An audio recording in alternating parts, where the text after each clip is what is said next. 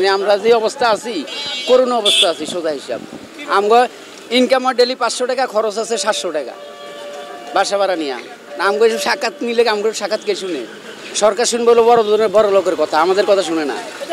এই যে আমগো তো টাকা নিয়ে স্পেস বানাইবো আর বড় লোক আসা যাওয়া করব, আমগো তো আমগো আর উঠতেও দেয় না। আমগো দুইটার লাভও হয় না, যে বড় লিগে কাজ করে। এদের আমাদের দুইটার কাজও হয় না। এবার আমাদের টাকা নষ্ট করে আরও বড় লোকদের বড় লোক মানাচ্ছে। ওই মনে শতকরা দুই একজন যারা টাকা আউল- ফাউল কামা এদের কাছে সব বালা। আমরা তো ফাউল কামাইতে পারি না আমরা কাম করে কামাইতো আমরা কিন্তু কষ্ট হয়।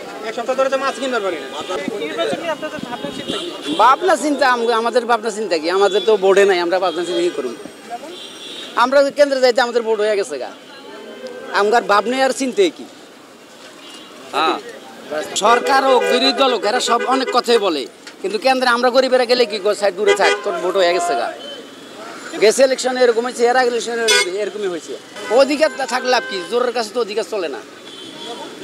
যেমন আপনার জোর আছে আপনি কেন্দ্র দখল করে বসে আছেন আমরা যাই তোদের ভোট হয়ে গেছে গা।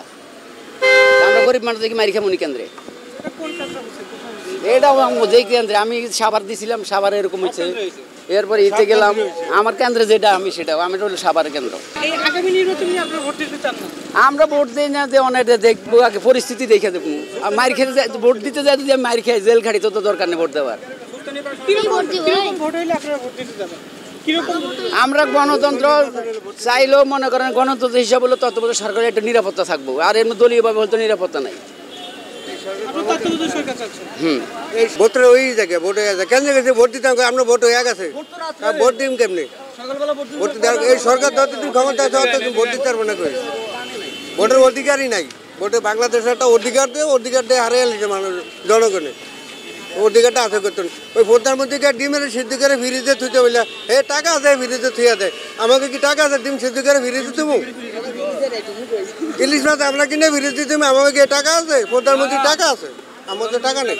আর প্রধানমন্ত্রী তো এটা করতে আছে ডিম সিদ্ধ করে না আমার তো টাকা নেই। প্রধানমন্ত্রী গোলা ভরা টাকা আছে আমার টাকা আছে আমাকে।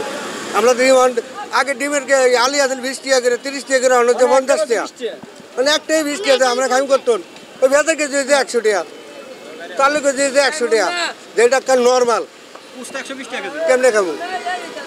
নয়শো টাকা হলে গরু গোস একটা আমার গরিব, একটা মরিয়া গেল যায় যদি কয়েক পিস গরু গোস খাই মরবে হ্যাঁ তো খাইতে পারব না।